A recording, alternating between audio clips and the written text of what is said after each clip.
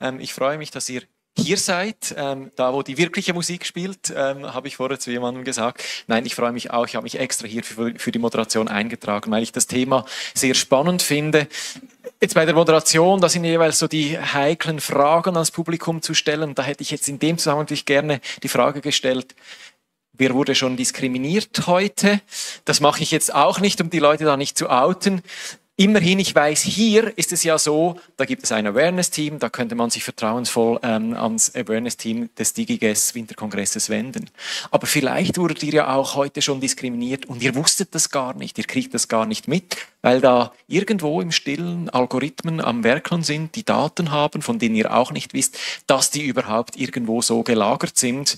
Und da ist es natürlich die Gefahr ziemlich groß, dass es dann zu Diskriminierungen kommen könnte. Und deshalb freue ich mich sehr, dass uns Estelle Banatier ähm, von Algorithm Watch ähm, gleich etwas zu diesem Thema ähm, berichten wird. Sie ist äh, Policy and Advocacy Manager bei Algorithm Watch und also eine Expertin auf dem Thema. Begrüße Sie bitte mit einem herzlichen Applaus.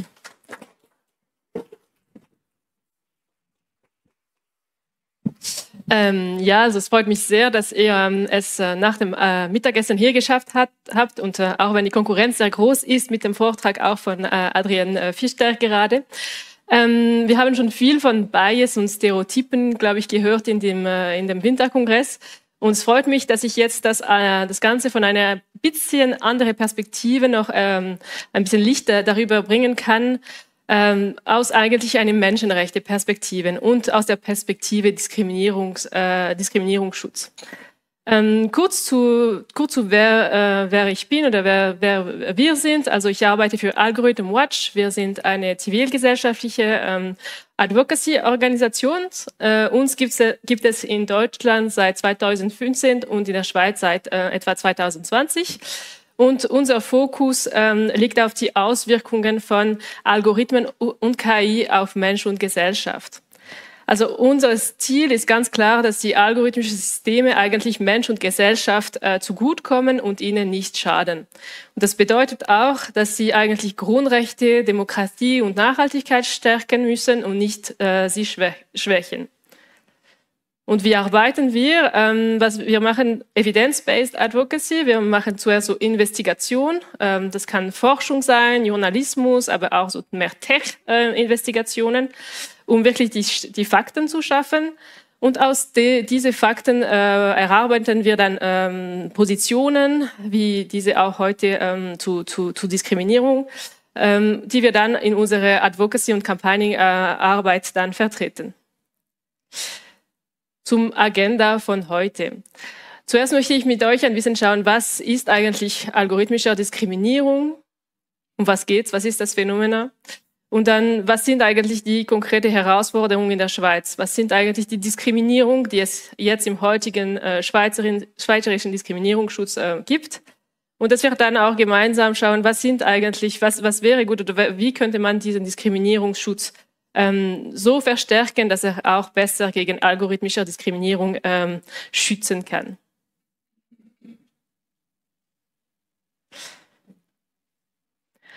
Also wovon sprechen wir? Wir sprechen wirklich von den Auswirkungen von Algorithmensystemen auf Mensch und Gesellschaft. Für uns ist es wirklich äh, auch wichtig, dass man nicht diese nur eine rein technische Definition hat, zum Beispiel wie mit dem Begriff künstlicher Intelligenz, sondern dass man dass man mehr die Auswirkungen anschaut und dass der Fokus auf die, Einsche auf die Systeme eigentlich liegt, die Entscheidungen äh, entweder äh, ähm, prognostizieren, die, äh, ähm, die Entscheidungen empfehlen oder die auch Entscheidungen beeinflussen. Weil eigentlich das ist der Ort, wo es einen starken auch Einfluss auf den Grundrechte äh, haben kann. Also es, gibt nie, es geht nicht um alle Systeme, zum Beispiel Ihren Spamfilter interessiert mich eigentlich nicht sehr. Also, oder das, das Gleiche mit Wetterprognose. Für mich ist viel, ich glaube, wo es am spannendsten ist, aber wo es auch die größten Risiken gibt, ist wirklich dort, wo die Systeme ähm, Entscheidungen treffen auf Menschen oder in irgendeiner Art eigentlich ähm, in diesem Entscheidungsfindung, ähm, in dieser Entscheidungsfindung ähm, Teil sind.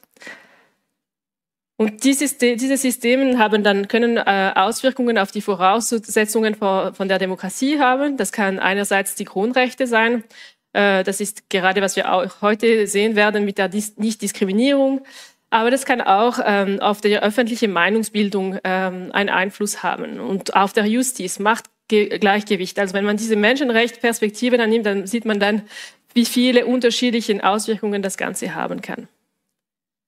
Aber jetzt kommen wir ein bisschen konkreter. Vielleicht habt ihr davon schon mal gehört. Es ist ziemlich ein berühmtes Beispiel, äh, das Kindergeldskandal in, der in den Niederlanden. Das, hat, das wurde in, im Jahr 2019 bekannt. Ähm, die Steuerbehörden in den Niederlanden haben so einen selbstlernenden Algorithmus äh, benutzt, um äh, Risikoprofilen zu erstellen, äh, um so Betrugsrisiko zu erkennen äh, von Kindergeld, von Leuten, die, die von Eltern, die Kindergeld ähm, bekommen hatten. Und äh, infolge von dem, von dem wurden eigentlich äh, etwa 20.000 Eltern äh, falscherweise, äh, mussten falscherweise das Geld zurückzahlen und eigentlich hätten sie das nicht, ähm, äh, mussten sie das nicht machen. Es war wirklich ein falscher Entscheid. Und das hatte auch sehr schwierige Folgen äh, für, diese, für diese Eltern. Und der Datenschutzbehörde kam zum Schluss, dass es eigentlich Diskriminierung war, ähm, weil, also dass die, die Verarbeitung von den Daten eigentlich diskriminierend war. Äh, unter anderem, weil ein von den ähm, Faktoren, warum äh, Eltern ähm, dann äh, als hohen Betrugsrisiko ähm, kategorisiert wurde, war die Doppel äh, Doppelstaatsbürgerschaft. Ein anderes Beispiel ähm, ist das vom ähm, Arbeitsmarktservice in Österreich. Da wurde auch ein Algorithmus-System eingesetzt, aber dieses Mal, äh, es war mehr äh, um, um Prognose zu machen, um zu, zu wissen, wie viel Chance hat äh, eine arbeitslose Person wieder Arbeit zu finden auf dem Markt. Und das System hat eigentlich die Personen dann in drei unterschiedlichen Kategorien äh, äh, geteilt und je nach Kategorien haben die Leute mehr oder weniger Unterstützung bekommen äh, vom Arbeitsmarktservice. Und äh, was eigentlich im, äh, im Modell war, es war, dass äh, die Frauen eigentlich äh, mehr, also wurden mehr Punkte abgezogen. Einerseits, weil sie Frauen waren, dann krieg, haben sie schon, äh, hatten sie schon weniger Chancen, ähm, Arbeit zu finden und entsprechend ein höheres Risiko.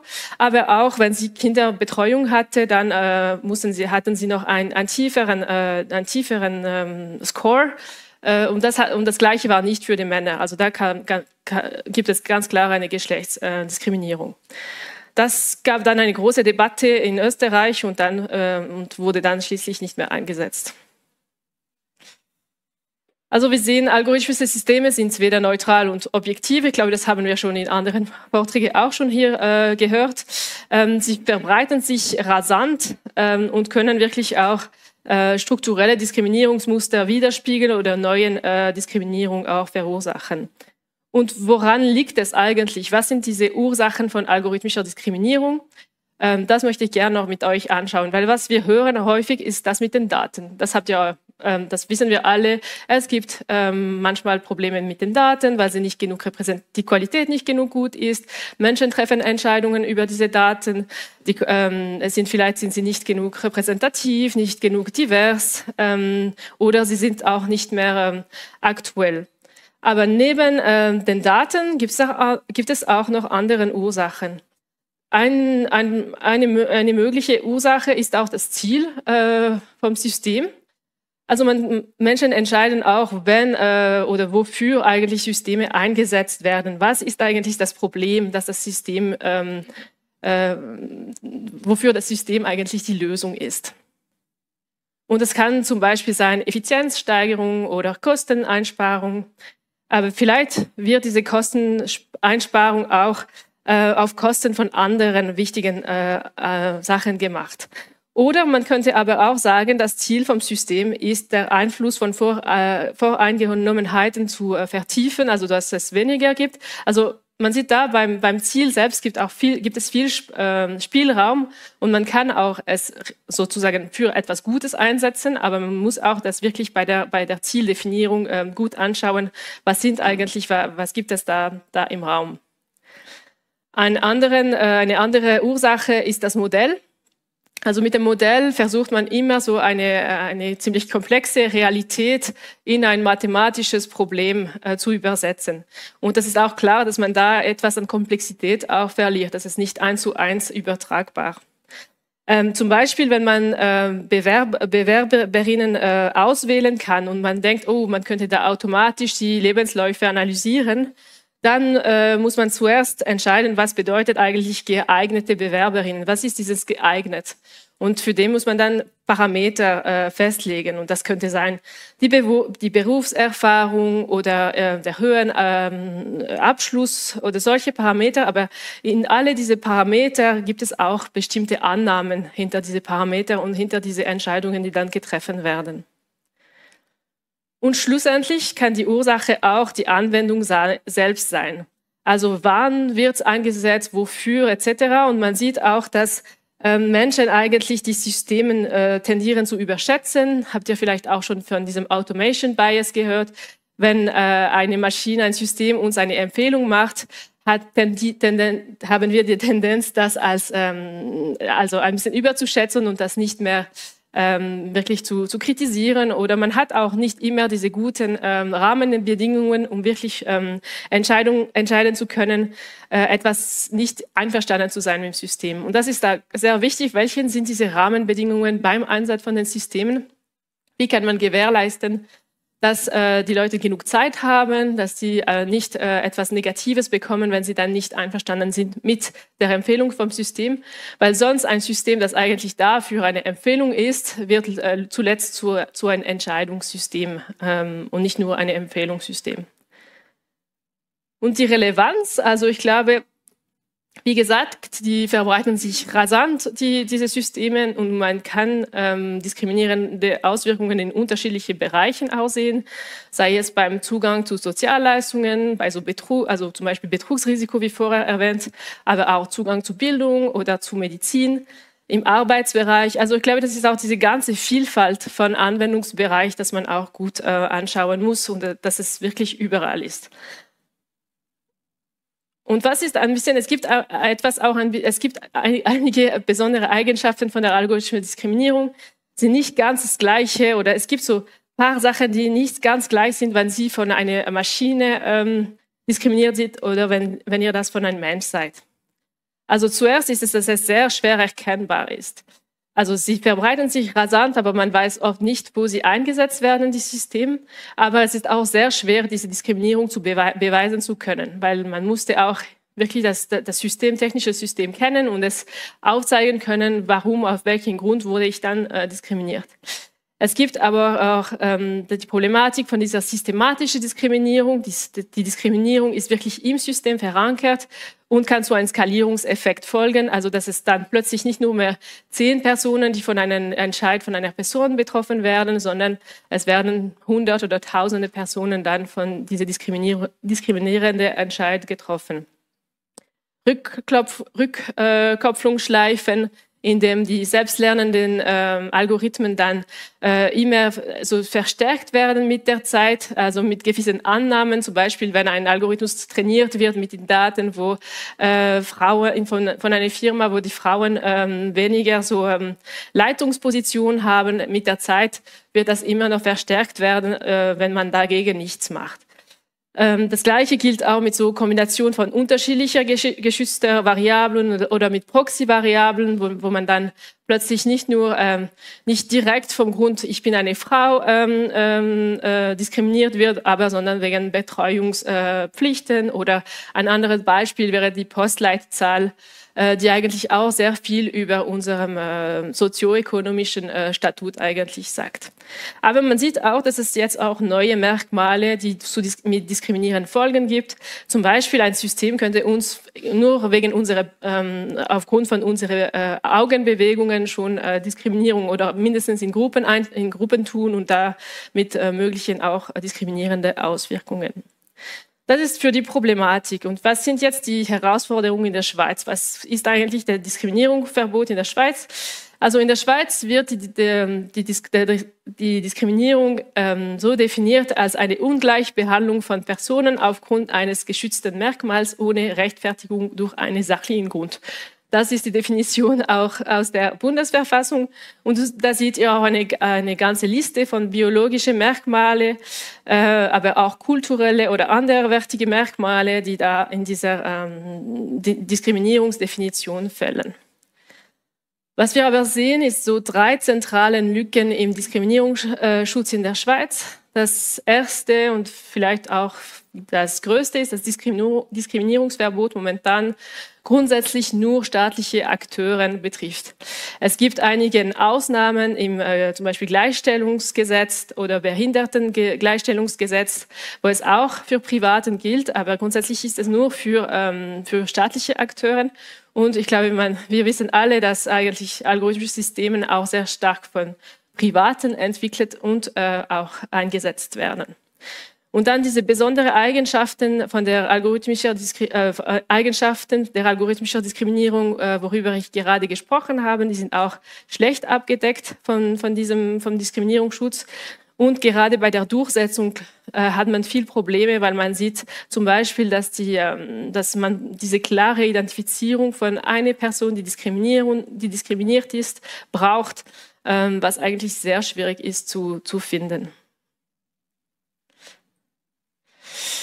Genau, und jetzt, was können wir eigentlich tun? In unserem Positionspapier haben wir so einige Vorschläge gemacht, wie könnten, wir, könnten wir eigentlich dieser Schutz von algorithmischer Diskriminierung stärken.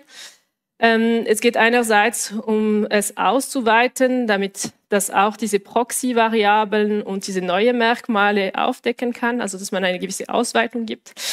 Äh, aber sehr wichtig und sehr, also sehr zentral ist auch dieses äh, allgemeines Diskriminierungsverbot für Private. Wir brauchen ähm, das wirklich, dass es auch die privaten Anbieter und, äh, und die Privaten, die das einsetzen, auch ähm, betrifft. Ähm, und es braucht äh, neue Möglichkeiten, um den Beweillast auf Seiten der Betroffenen zu reduzieren. Das äh, kann zum Beispiel durch so Sorghaftpflicht, also so Arten von Due Diligence für ähm, die, die Organisationen oder die, die Gruppen, die die Systeme einsetzen äh, oder entwickeln sein. Also dass man nicht mehr nur beweisen muss, dass man diskriminiert ist, aber dass der Unternehmen zum Beispiel beweisen muss, dass er alles gemacht hat, was er könnte, um Diskriminierung zu, zu vermeiden. Ähm, bei der Durchsetzung geht es auch um einen besseren Zugang zu kollektives äh, Rechtsmittel und das, ähm, äh, also dass man so Verbandsklagerecht hat, dass man wirklich nicht nur alleine vor dieser Diskriminierung ist, sondern dass man wirklich auch die Möglichkeit gemeinsam äh, was dagegen, dagegen zu tun. Und ein zentraler Punkt ist auch diese, diese Folgenabschätzungen und Audits, also dass man nicht nur am Ende kommt und schaut, uh, da ist etwas, etwas schlecht passiert, da muss man handeln oder da gibt es jemand, ähm, der bestraft werden muss, sondern dass man vom Anfang an wirklich die, wenn ein System einge eingesetzt wird, dass man schaut, was sind die möglichen Auswirkungen vom System auf die Grundrechte, was können wir machen, um die Risiken zu, zu, zu begegnen und dass es wirklich das la laufend im System gemacht wird.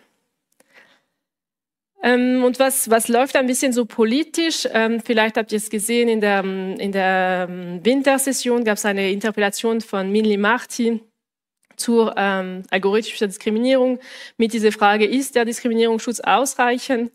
Und der äh, Bundesrat hat dazu geantwortet, dass er im Rahmen von seiner Auslegeordnung zum Handlungsbedarf äh, für die KI-Regulierung eigentlich auch die Frage der äh, algorithmischen Diskriminierung äh, berücksichtigt wird. Und äh, also das ist diese Analyse, das, das bis Ende, äh, Ende vom Jahr ähm, gemacht wird. Und da wird anscheinend auch algorithmische Diskriminierung als ein Thema angegangen, aber wir wissen ja noch nicht, was wirklich da, da reinkommt oder was so denn, also wie das wirklich angegangen wird. Und deswegen glaube ich, gibt es auch noch sehr viel Arbeit auch auf, ähm, auf, äh, für die Politik, dass man wirklich dieses Thema äh, zurechtbringt und wirklich äh, ja, vorwärts bringt, äh, damit wir wirklich dann geschützt werden können gegen algorithmische Diskriminierung. Und ich sehe, ich habe ein bisschen, äh, ich war ein bisschen schnell oder habe sehr schnell gesprochen, aber äh, ich wäre somit durch und freue mich auf eure Frage.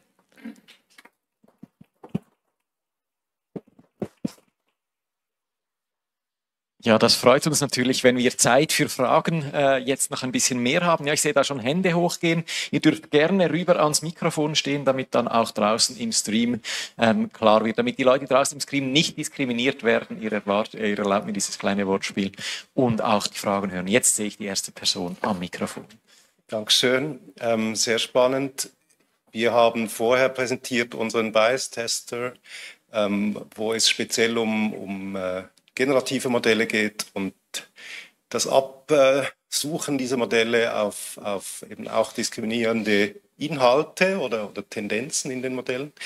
Ähm, wir werden das auch hoffentlich an der Republika präsentieren und da mit einem eher provokativen Ansatz, nämlich dass ähm, also das, das, Motto der Republika ist uh, Who cares? Und wir, wir nehmen das zum Anlass, auch zu fragen, Who cares, wenn es um generative KI geht. Und das wäre die Frage an dich. Siehst du da auch einen Unterschied? Ähm, weil die Frage, ob die Biases in den generativen Modellen wirklich harmful sind, finde ich wahnsinnig spannend. Wir trauen uns zu sagen, dass vielleicht diese Biases auch ähm, nicht zu kaschieren wären, sondern eher ähm, wir sie überhöhen sollten, ähm, weil wir da, da dadurch etwas lernen können. Aber siehst du Potenzial der Diskriminierung jetzt in den aktuellen Sprachmodellen und Bildgeneratoren? Ja, also ich, glaube, da ein wichtiger Punkt ist auch, äh, wie gesagt, also das, was du gesagt hast, es, ist, es gibt auch den Potenzial, eigentlich Diskriminierungsmuster aufzuzeigen durch die Algorithmen, dass man eigentlich auch besser sieht, wo gibt's eigentlich, wo sind eigentlich die Biases und wo äh, und dass man das wirklich auch dann als Gesellschaft wirklich begegnen kann. Äh, wenn es dann zu generative ähm, KI gibt, ich glaube, glaube, da ist ganz klar mehr, also liegt schon sehr viel bei, bei, bei, bei der Daten. Ähm, aber ich glaube, es ist auch diesen, diese gewisse Blackbox für den Rest, also wo, wo wir nicht wirklich diese Auswirkungen gut äh, einschätzen können und weiter prüfen können, äh, würde ich sagen. Ja. Vielen Dank. Gerne die nächste Frage. Vielen Dank. Et pour lutter contre la discrimination au Winter Congress, je vais poser la question en français. Euh, à la fin de cette présentation, euh, tu as montré euh, l'interpellation politique et puis la réponse du Conseil fédéral. Puis ma question, c'est chez Algorithmic Watch, euh, quelles sont les prochaines étapes? Est-ce que le but, euh, c'est d'influencer euh, ce rapport, de faire du plaidoyer aussi au niveau politique pour un renforcement du droit à travers peut-être une nouvelle loi ou bien peut-être de la recherche aussi pour montrer la réalité de, ce phénomène Vielen Dank für die Frage. Ähm, ich würde gerne auch Französisch äh, antworten, aber ich lasse äh, für mehr Verständlichkeit hier. Ähm, äh, ja, ganz klar, das ist für uns wirklich ein sehr wichtiges Thema in unseres Portfolio. Wir sehen das wirklich als so eine transversale Dimension in unserer Arbeit und das werden wir weiter arbeiten. Ähm, wir sind dran, so auch mehr noch äh, Fakten zu schaffen, mit so Rechtsanalyse äh, zu vorbereiten, dass, wir, dass man noch, noch weitere Grundlage hat. Ähm, aber gleichzeitig für uns ist es wirklich auch die Zeit, um, um mehr so auf, äh, ähm, öffentliche Aufmerksamkeit auf dem Thema zu machen und damit auch Druck zu machen dann auf diese Auslegeordnung. Und ich muss auch sagen, diese Auslegeordnung ist wirklich nur ein, ein, ein, ein, ein Starting Point auf das Ganze, weil da, was wird dann passieren im Dezember ist, dass der Bundesrat eigentlich so ein paar ähm, äh, Handlungsbedarf hat oder, oder Ideen, wie man das regulieren könnte, bis man dann wirklich dann zu einem Gesetz kommt. Das wird noch mindestens so vier Jahre dauern. Also dann gibt es noch diese ganze Zeit, um das noch beeinflussen zu können. Und gleichzeitig, glaube muss man nicht sich zu, zu stark nur von dieser Regulierung oder diesem politischen Prozess er, eröffnen, sondern vielmehr auch zu, wirklich in, im Diskriminierungsschutz selbst äh, schauen können, wo welche Gesetze können man dann an, anpassen, um, um das äh, auch äh, wirklich ähm, ähm, ja, zu berücksichtigen. Und da sind die Möglichkeiten eigentlich, gibt es viele. Es gibt ja, man macht so einen allgemeinen Diskriminierungsschutzgesetz, wie zum Beispiel Deutschland es kennt, politisch aber sehr schwierig, so etwas äh, durchzubringen. Es gibt auch noch äh, äh, gewissen so ähm, Anpassungen von Persönlichkeitsschutz oder Datenschutz. Also es gibt sehr unterschiedliche Wege, wo man das noch, also wo man das berücksichtigen kann. Danke. Merci beaucoup pour cette question en français. Alors. Und wir haben die nächste, ja, meine, meine, meine Frage geht in eine ähnliche Richtung. Und zwar eben, wie viel Geduld müssen wir da aufwenden? Weil ein Gesetz zu haben, da haben Sie gesagt, hm. vielleicht vier Jahre, das ist das eine. Dann wissen wir aber auch ähm, von einem aktuellen Fall, dass die Polizei erst nach zehn Jahren des Racial Profilings jetzt endlich mal, mhm. Gott sei Dank, äh, schuldig gesprochen wurde in Straßburg. Das geht dann auch wieder mhm. etwa zehn Jahre, bis, äh, bis so ein Prozess durchgeht. Kann man da irgendwie etwas abkürzen? Ähm, ja, oder eben haben Sie auch schon Strategien, wenn das Gesetz dann in Kraft ist, dass man das, das Ganze ein bisschen beschleunigen kann, weil eben die, die Realität ist, wir werden von Algorithmen bereits diskriminiert. Ja, ich glaube, dass, dann ist es auch spannend, so eher so einen sektoriellen Ansatz zu haben und eigentlich zu schauen, wo sind alle Punkte, wo man eigentlich die, die Situation verbessern kann und nicht nur, ah, es, wir brauchen so ein KI-Gesetz, das alles regeln wird, sondern zum Beispiel, was wir auch machen, ist gerade bei der öffentlichen Verwaltung, da sehen wir noch, noch ganz große Diskriminierung, Risiken oder vielleicht generell mehr Grund, noch mehr Grundrechte, äh, Risiken, Risiken, wenn Algorithmen äh, Entscheidungen treffen oder in der Entscheidungsfindung äh, beteiligt sind, weil sie können nicht ähm, einfach ähm, nicht mehr bei der Verwaltung sein oder so. Also, also muss man einfach durchgehen ähm, und dass man da wirklich noch diese Folgenabschätzung zum Beispiel einbringt. Und das braucht also braucht auch eine gewisse gesetzliche Grundlage, um das auch verpflichtend zu machen, dass die Behörden das machen müssen. Aber vielleicht Änderungen im Gesetz, die auch viel schneller gehen können als ganz ein neues, äh, also ein, ein neues Gesetz zum Beispiel. Vielen Dank. Ja, ich sehe, da kommt noch eine Frage. Wir haben auch noch Zeit für eine. Ja, für eine Frage sollte es noch reichen. Vielleicht äh, ergänzen zu dem, was äh, mein Vorredner gesagt hat. Also ich bin selber im Datenschutz äh, tätig, bin zwar kein Jurist, aber äh, jetzt würde ich sagen, dass ich ein gutes äh, Verständnis habe, ähm, unternehmerisch äh, gesehen. du hast es angesprochen. Also ist ja so im neuen oder revidierten Datenschutzgesetz der Schweiz ähm, werden ja alle Systeme, die eine KI integriert haben, Du hast es gesagt, äh, da wird eine Datenschutzfolgenabschätzung verlangt. Das ist, äh, das ist zumindest mal eine, eine Risiko, eine Risikoabschätzung eben für die, für die betroffenen Personen, äh, für die Daten, die da dann bearbeitet werden. Und vielleicht einfach der Ergänzung haben, ich habe extra noch was im Gesetz jetzt nachgelesen. Also wir haben ja mit, mit dem Artikel 21 haben wir ja so eine Art KI-Gesetz, so ein KI-Leitgesetz. Also das heißt, dass ich eigentlich als Organisation oder als Unternehmen muss ich zumindest offenlegen, wenn ich jetzt eine KI in irgendeiner Form einsetze. Ist natürlich immer die Frage, wird das gemacht oder nicht? Ähm, 1. September letztes Jahr ist relativ kurze mhm. Zeit. Wie, wie sind da deine Erfahrungen? Äh, hast du das Gefühl, dass sich da die, die, äh, die, die Unternehmen äh, oder auch äh, Startups, dass, dass man sich daran hält?